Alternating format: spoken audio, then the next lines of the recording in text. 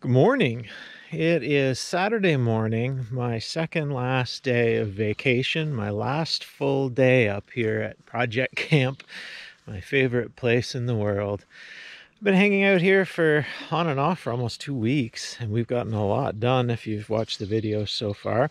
Today's just a few odds and ends and try and enjoy the day a little bit, maybe try and get out on the river and do a little fishing. I was just doing a walk around on the tractor, just checking out to see what else I needed to fix. Here's one of the benefits of painting an old tractor or painting anything or adding witness marks on anything. I was walking by and I saw this brown stick out. That means something has moved. And sure enough, the linchpin was not in here and this pin is backing out of the loader. And this was it's awfully close to a very very bad day. This should be lined up here to here. Easy fix now that i caught it uh, before it fell out entirely and then i have to wrestle with the whole loader. But yeah one of the benefits of painting things uh, adding a, a little bit of old a little bit of paint on an old tractor has other benefits just finishing up the oil change from yesterday or the day before and just doing the greasing and oiling. Pays to read the manual on these. I've been trying to get the rubber cap out of the end of the generator for like five minutes and it was seized in here so bad i don't think it's been out in 50 years.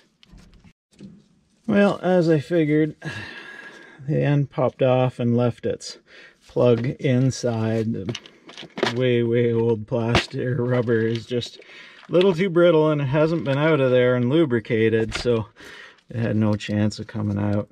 So we'll go on to my next trick. We will try and extract it with a screw. We'll screw into it and hopefully pull it out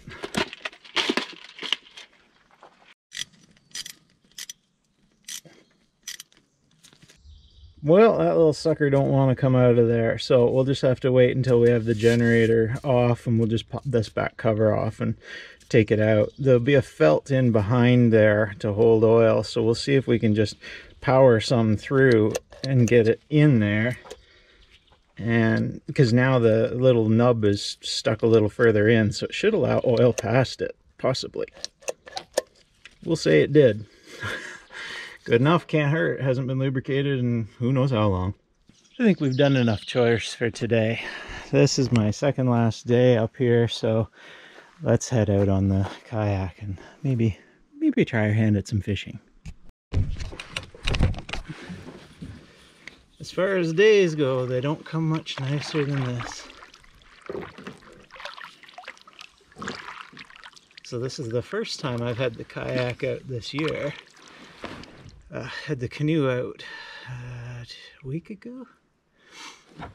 And yeah, this is nice.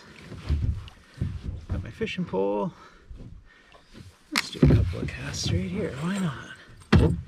As we float down.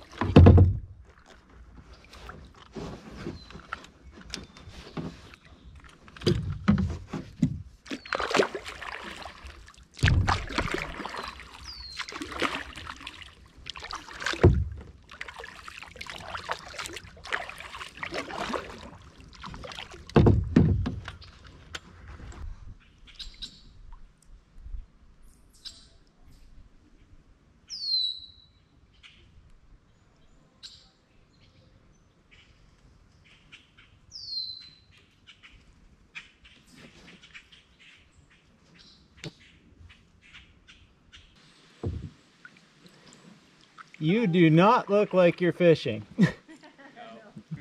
Working today? Feeding the deer flies. Yeah, they're pretty bad.